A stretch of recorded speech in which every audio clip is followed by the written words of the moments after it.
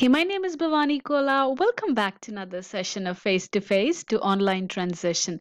In today's session, we will be looking at what is the best way to present your PowerPoint. How can you annotate, use your highlighter, transcribe, and even have your notes ready. So without further ado, let's go ahead and jump right into this session. I am so excited to share this with y'all. So here I am in my sample Teams class. I will go ahead and initiate a meeting. And once I am in my session, I will simply go ahead and click share button. And then I do not want to pick my PowerPoint from my OneDrive. I want to go ahead and choose the PowerPoint that's on my desktop. So please make sure you have a copy of it on your desktop. So I'm going to go ahead and click on this. And as you can see here, I am in my PowerPoint. What I'm going to do is I'm going to go ahead and click on slideshow. So I simply went ahead and created four different slides just for demo purposes. You can actually start your slideshow from your current slide, but I'm going to go ahead and start from the beginning.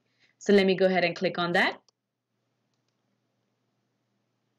As you can see, you saw my first transition, but what I would like to highlight today is when you right click you will see something that says show presenter view. Let me go ahead and click on that. And as soon as you click, this is the window that you will see.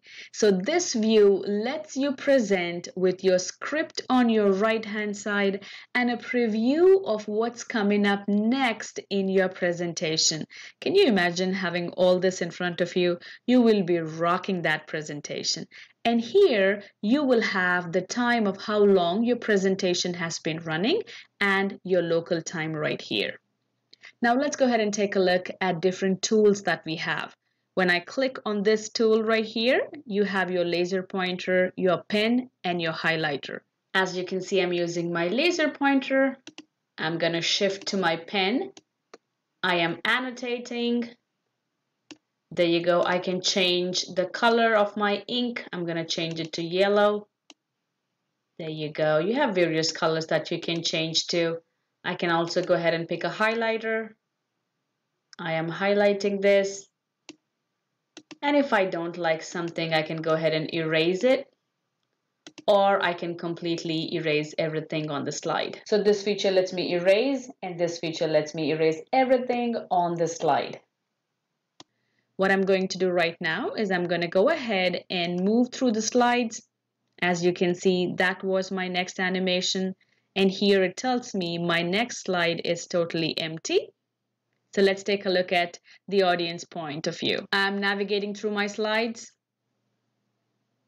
The audience can actually see my transitions and my animations flawlessly. This is the presenter's view. I have my notes right here.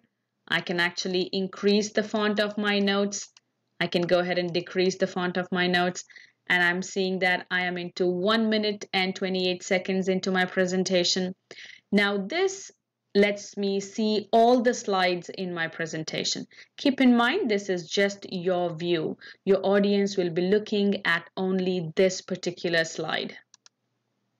And here you can actually zoom in and zoom out.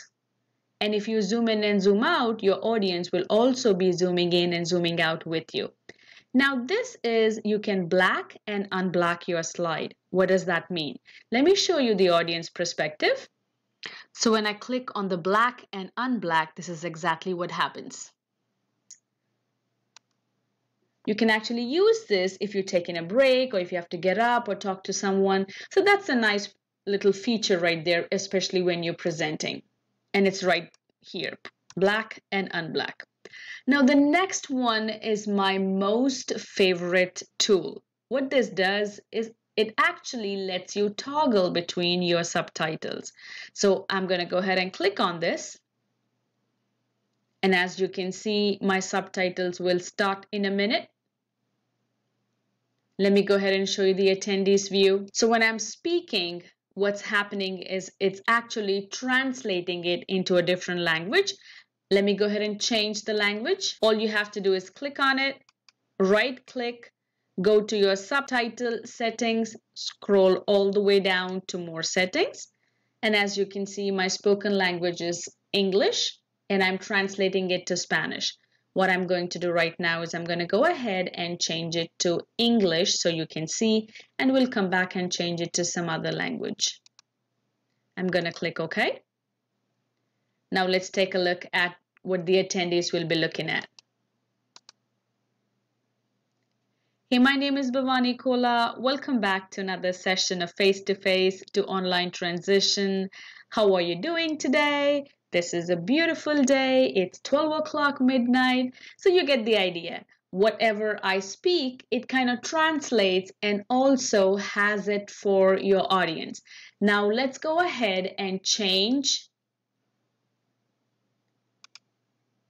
to some other language. Just in case you're presenting to audience with different languages, you can actually go ahead and pick from 66 different languages. I'm going to go ahead and pick Spanish and I'm going to click OK. And now when I speak, it kind of actually translates into Spanish. You can see the audience view by simply clicking on display settings. So as you can see, when I'm speaking, it's picking it up perfectly and it's translating everything into Spanish. Trust me, I don't know what it's saying, but I'm assuming somebody else who's watching this video knows what's happening there. So this is one of my favorite feature because if I'm presenting to some audience with different languages, not only can I change it, but I can also have it portrayed and transcribed right on my screen. How cool is that? And last but not the least, this button lets you hide your presenter view or you can actually go ahead and end your show. I really enjoy using the presenter view. I try to use that as much as possible, especially when I'm presenting in meetings or webinars, not to my students, of course. And I hope you enjoyed this video. If you do, please make sure you like, subscribe, and if you think it's worth sharing, please go ahead and do so. There could be some instructor who might really need this transcribing and presenter view.